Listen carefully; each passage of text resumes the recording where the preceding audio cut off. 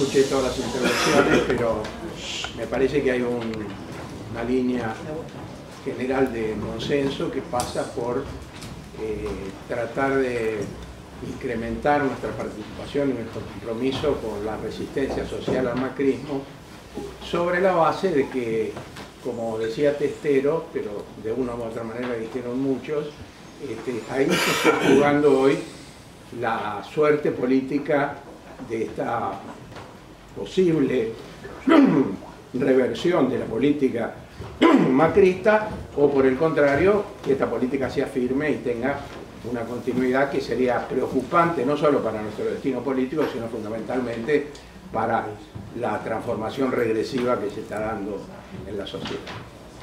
Ahora, eh, como siempre pasa en política, pero me parece que esta eh, coyuntura es más compleja, más este, desconcertante que otras que hemos vivido, aquí tenemos eh, un objetivo muy claro, una posibilidad de ligarnos con los sectores más amplios de la sociedad, en la medida que se vaya tomando conciencia de la política del macrismo y lo que pasó con las tarifas, me parece el ruidazo del otro día, es un hecho muy auspicioso, que no sé si ustedes han, advertido, pero incluso ha empezado a cambiar el clima político en la Ciudad de Buenos Aires. Pensemos que hubo mucha gente, por ejemplo en la esquina de Acoite y Rivadavia, que era una esquina típica de los caceroleros, de los caceroleros antikirchneristas, obviamente, que uno no podía, yo vivo relativamente cerca de ahí, aunque no mucho, uno no podía ni acercarse en esos días porque era impresionante la cantidad de gente que manifestaba este, en esos casos en contra del gobierno.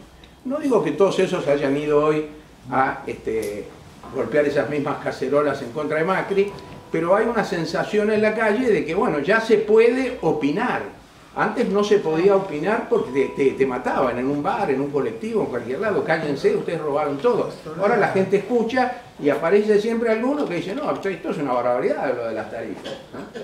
Es, un, pequeño dato, pero incluso eh, los efectos que estas situaciones sociales tienen sobre la política me parece que se advierten muy claro en eh, situaciones como la planteada en el Senado. Nosotros tenemos una opinión bastante crítica de la mayoría de los senadores del Frente para la Victoria, bastante, por no decir muy, este, que han acompañado muchas leyes del macrismo. Bastó que se planteara, que se palpara, que se viera la resistencia social contra el aumento de tarifas para que votaran cuatro leyes contra el gobierno o declaraciones en un solo día.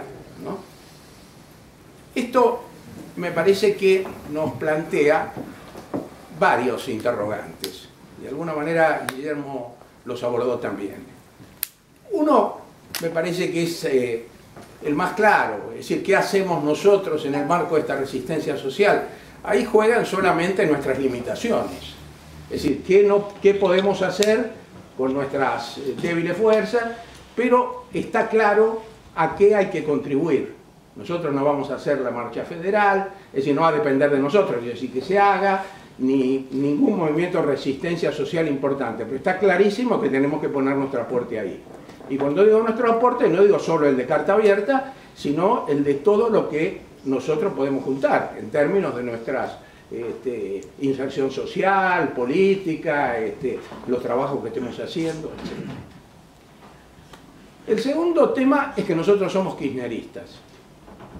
No sé si lo tenían claro ustedes. Porque alguna vez dije esto en una reunión y me dijeron, no, nosotros no somos. Creo que la contesta anécdota ya en la asamblea. Pero este, yo eh, dije, bueno, porque nosotros como kirchneristas y entonces alguien me dijo, no, nosotros no somos kirchneristas, somos intelectuales, bla, una cosa muy larga, que adherimos al gobierno kirchnerista. Ahora, en esa misma reunión de la coordinación se resolvió invitarlo a Néstor Kirchner para el cierre de, las actividades de carta abierta en el, eh, como único invitado. Bueno, a partir de ahí no escuché a nadie más que cuestionara esta definición. Bueno, nosotros somos kirchneristas y el kirchnerismo no está pasando por su mejor momento, eso creo que está claro. Por una parte, por la ofensiva brutal contra Cristina, Por otra parte, porque la derrota electoral sabíamos que iba a producir cuestionamientos, este, divisiones, contradicciones, que no sé si han terminado de manifestarse, probablemente no, probablemente haya que eh, seguir discutiendo mucho todavía, y seguir procesando todo lo, que nos pasó en estos 12 años de maravilloso, pero también las limitaciones que, hay, que ahora advertimos. Pero creo que coincidimos todos en general en que nos oponemos decididamente a todo este discurso de la liquidación del kirchnerismo. Discurso que tiene dos variantes. Una, la más agresiva, que es la de los macristas y los medios, que dicen, bueno, este, esto se terminó porque son todos chorros, ya no pueden ni caminar por la calle, entonces ¿para qué, ¿cómo van a seguir subsistiendo como fuerza política? Y la otra, la de quienes en un tono más amistoso y reflexivo dicen, bueno, ya son demasiados problemas, que, que eh, me parece que el kirchnerismo este, no va a poder seguir este, con el mismo nivel de, importancia, de incidencia este, que ha tenido. A mí me parece que ¿Por qué decimos, bueno, ahí ya hablo más en términos personales, ¿por qué decimos somos kirchneristas? Porque como decía Guillermo, valoramos muchísimo lo que se hizo en los últimos 12 años en la Argentina y porque pensamos que ese proyecto, en el contexto de todo lo que pasó en los países este, sudamericanos, este, en la región en estos años, sigue siendo válido. Y cuando uno dice eso no ignora que hay cosas que no pudimos hacer, que hay cosas que debemos corregir, este, que hay cosas que no tenemos que replantear, pero eh, como proyecto sigue siendo válido y además uno legítimamente puede pensar que en cuanto aumente la resistencia social contra la política del macrismo y aumente la conciencia social sobre la perversidad de la propuesta macrista, entonces eso va a ser más fácil que la gente vea que la alternativa natural al macrismo es la eh, política que se siguió en estos últimos años. Yo tengo esa confianza, creo que es razonable tenerla, pero no tengo la idea, como dicen algunos que por ahí te encuentran en la calle, este se va, qué sé yo, dentro de dos meses vuelve Cristina. ¿no? no tengo la idea que la gente nos va a venir a buscar desesperadamente a nosotros porque la política de Macri empieza a tener ya una oposición muy seria. Creo que no. Creo que en política cada instancia es una nueva instancia, y mucho más después de una derrota. Entonces todos tenemos que revalidar todo. Entonces, el kirchnerismo está en mejores condiciones que nadie para revalidar sus títulos. Para decir, señores, nosotros somos, no lo vamos a decir en esas palabras tan estúpidas, pero eh, somos eh, legítimamente quienes nos proponemos para encabezar este Frente Nacional contra el macrismo. Pero no es que van a llamar a un concurso y entonces van a decir, no, con los antecedentes de lucha que esta gente tiene estos 12 años, no hay duda que le corresponde a Cristina este lugar. No, hay que ganárselo en la pelea, en una pelea que va a ser feroz, porque tenemos enemigos despiadados, como suelen ser los verdaderos enemigos y poderosos, exactamente. Entonces a mí me parece que acá se nos replantea esa vieja discusión de la teoría política entre lo que en una época llamábamos la vanguardia y las masas. Y ahora que hemos tenido algunos problemas este, en el mundo, no sé si se enteraron también en los últimos 60 años, este, y hablamos menos en términos de vanguardia, de cualquier manera pensamos que en el proceso político de de las masas, tiene que haber una fuerza política que plantee con más claridad la, la, propuesta, que vea un poco más allá de la coyuntura, que, que, tenga el impulso más decidido en la organización de la gente, en la definición del camino. Y entonces, ¿cómo hace el kirchnerismo eso en un momento en que nos resulta muy difícil hasta hacernos escuchar? y en un momento en que las limitaciones eh, organizativas, llamémosle, este, de nuestro movimiento, que siempre las conocimos, y más de una vez las mencionamos varios de nosotros en las reuniones de carta abierta, empiezan a pesar de una manera mucho más fuerte, ¿no? Porque Cristina está hablando muy poco, y uno puede entenderlo o no entenderlo, que yo, pero es obvio que está en una situación muy especial. Pero también el kirchnerismo está hablando poco. Los dirigentes que más cercanos al, al gobierno, los que fueron ministros, bueno, algunos como Agustín están hablando bastante más y lo celebro, pero en general estamos bastante paralizados en esta situación. Y creo que estamos paralizados porque quién más, quién menos, también la derrota lo ha golpeado muchísimo, la este, demonización del gobierno anterior también lo golpea, y las cosas que se ven por televisión para nadie son agradables, ni simpáticas, ni fáciles de explicar. Ahora, tenemos, me parece, que pensar que el camino del fortalecimiento del kirchnerismo tiene que ver con esto que decíamos al principio. Si el principal frente de lucha hoy es el terreno social, es el movimiento social, bueno, el kirchnerismo tiene que estar presente más que nadie en esa movilización social. Y al calor de esa movilización social, nosotros tendremos que ir revalidando nuestros títulos. Por supuesto que esto no quiere decir que no haya un terreno de la política partidaria, que no tengamos que resurgir como fuerza política, que no tengamos que organizarnos. El otro día ya que lo cité, Agustín Rossi en Rosario dijo, el kirchnerismo tiene que organizarse. Y todos nos miramos como si una cosa rarísima, ¿no? Porque la verdad que no estamos organizados. Hay compañeros que son de un partido, compañeros que son de otro, compañeros que son del Partido Justicialista, todos somos kirchneristas, pero no tenemos una mínima orgánica que nos permita a nosotros decir esto existe como una fuerza política. Este. Entonces, y hay otro espacio que ya se han referido los compañeros cuando hablaron de la universidad, este, de los científicos autoconvocados, pero en términos más generales, el de la lucha intelectual, ¿no? Este, donde Carta Abierta tiene que jugar un rol importantísimo en este momento, es eh, lo que está pasando en la Argentina, es un cambio tan eh, rotundo, tan notable en el discurso oficial, que ahí hay un terreno de lucha, incluso en las cosas que a uno le parecen más obvias, pero que no son obvias. Entonces, todo lo que aquí se ha dicho, no quiero repetir, acerca de lo que significa lo de Milagros Sala y la represión en Jujuy, la construcción de un Estado policial, cómo se liga esto con un gobierno que es autoritario también en su discurso. Me parece que ese es un terreno importantísimo donde nosotros tenemos que aportar. Pero como nosotros somos intelectuales, somos políticos, somos una mezcla rara, uno de los productos interesantes de estos últimos 12 años, creo que tenemos que trabajar en los dos niveles. Ahora, estos dos objetivos, fortalecer el movimiento de masas en la resistencia al macrismo, que es lo prioritario hoy para que este proyecto no pase, y fortalecernos a nosotros como fuerza política no pueden entrar en contradicción. Si entran en contradicción es porque algo estamos haciendo mal.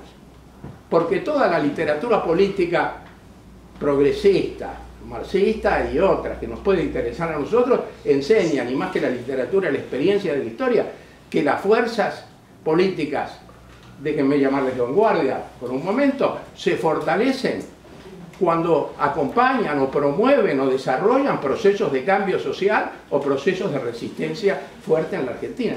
Y uno se pregunta, ¿por qué Perón pudo volver a la Argentina después de 18 años? Y algunos que son más afectos a pensar en términos de grandes personalidades, ¿no? como Carlyle, dicen, porque es un genio de la política. Hubo otros genios de la política que, que murieron exiliados.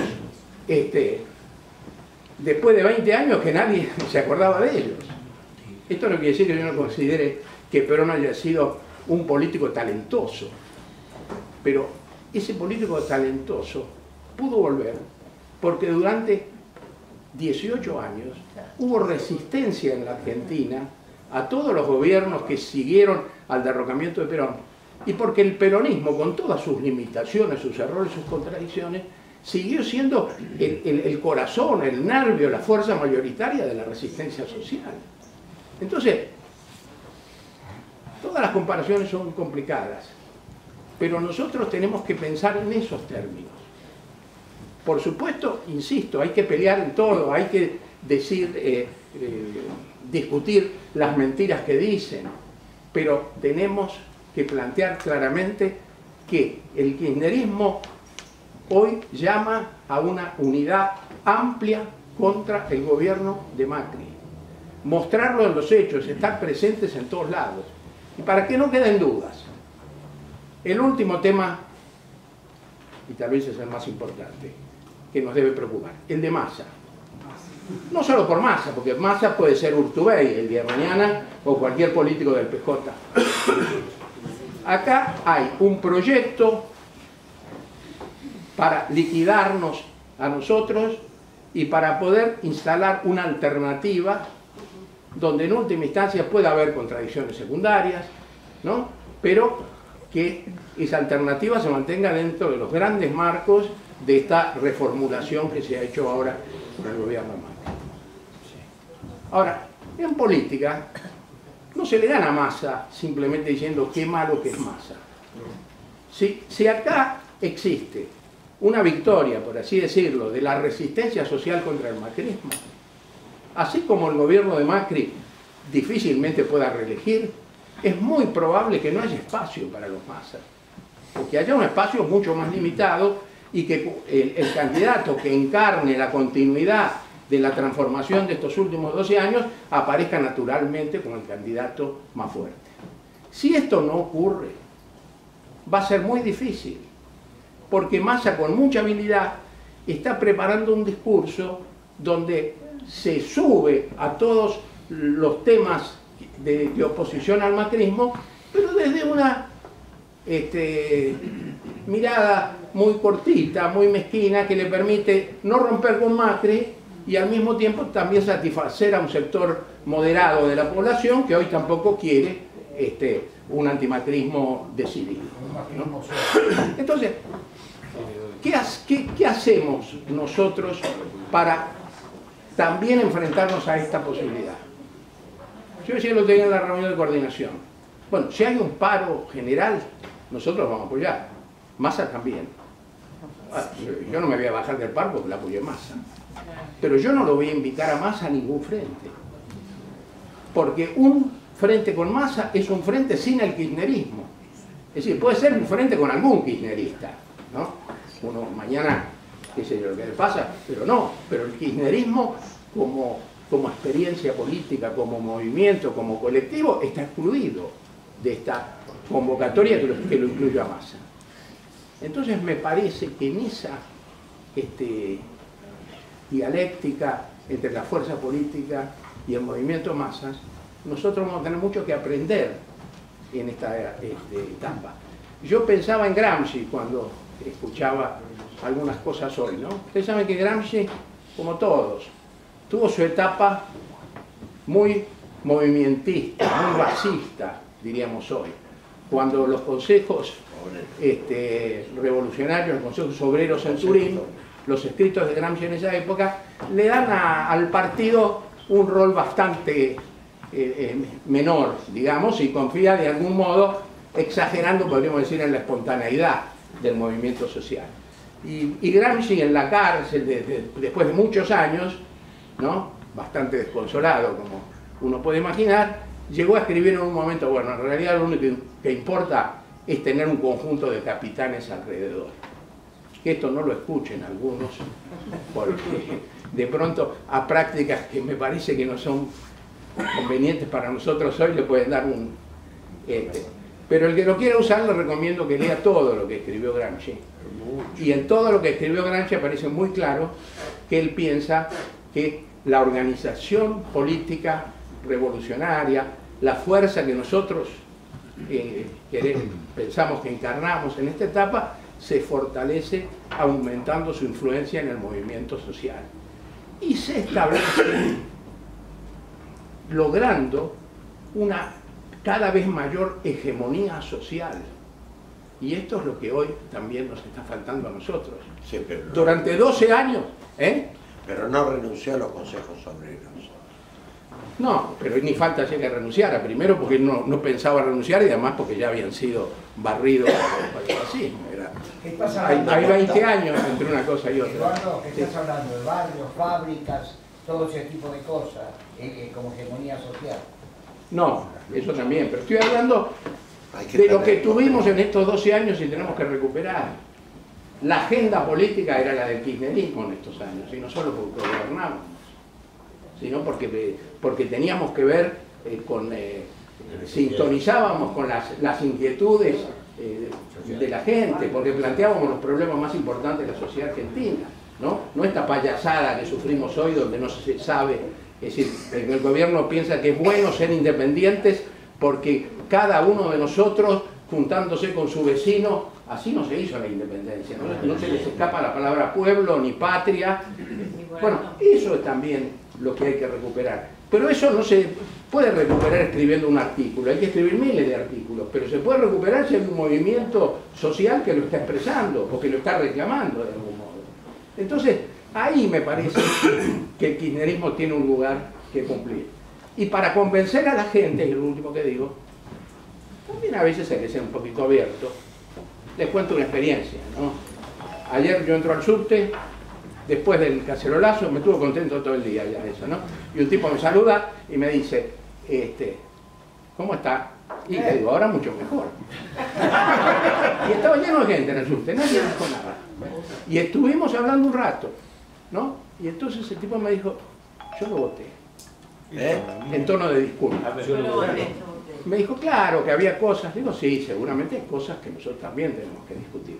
Y el tipo se sintió tranquilo, como diciendo, este no me lapidó diciendo, sos un traidor porque lo votaste. Me parece que eso nos va a pasar muchas veces. Hay que dejarlos hablar. Claro, sin pretender este, eh, que esta anécdota sea ejemplarizadora, pero a mí me levantó el ánimo, por eso la cuento.